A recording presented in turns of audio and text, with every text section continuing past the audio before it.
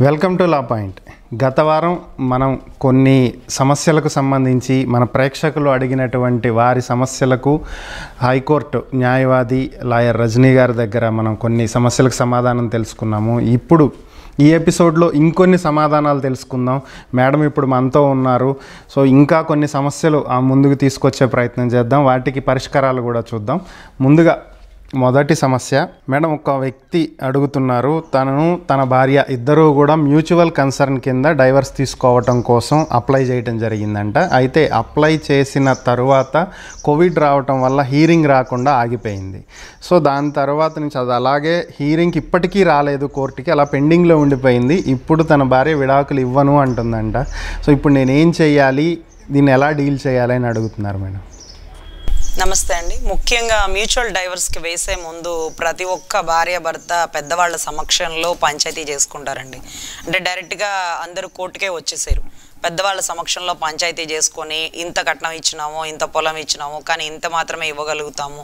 ఇదంతా ఒక ప పర్పస్లో వాళ్ళు ఒక పేపర్ మీద రాసుకొని పెద్దల సమక్షంలో అంతా అనుకున్నాకే మ్యూచువల్ డైవర్స్కి వస్తారు.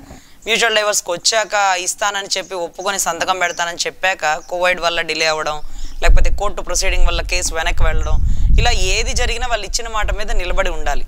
సో ఇటువంటప్పుడు మాట వెనక్కి తీసుకోవడానికి ఆవిడ ఎందుకు డ్రాప్ అయ్యారు అనే పర్పస్ని మీరు ఆమెతో ఆర్గ్యుమెంట్ కాకుండా ఏ పెద్దల సమక్షంలో అయితే మీరు ఒక మాట మీదకి వచ్చినారో ఆ పెద్దల్ని మళ్ళీ మీరు కూర్చోబెట్టి ఇలాగ తను మరి ఒప్పుకోవటం లేదు నాకు చాలా ఇబ్బందికరమైన పరిస్థితులు ఎదుర్కొంటున్నాను దయచేసి మళ్ళీ పంచాయతీ పెట్టి తనని ఒప్పించి ఎప్పుడైతే మ్యూచువల్ డైవర్స్కి వస్తుందో ఆర్గ్యుమెంట్ హీరింగ్కి వస్తుంది ఆ టైంలో ఆవిడ సంతకం పెట్టాలి ఆవిడ జడ్జి గారి ముందు తన తరపు వాదన వినిపించాలి. ఇద్దరు ఇష్టపడి తీసుకుంటున్నారమ్మా డైవర్స్ మీ ఇద్దరికి ఇష్టమేనా?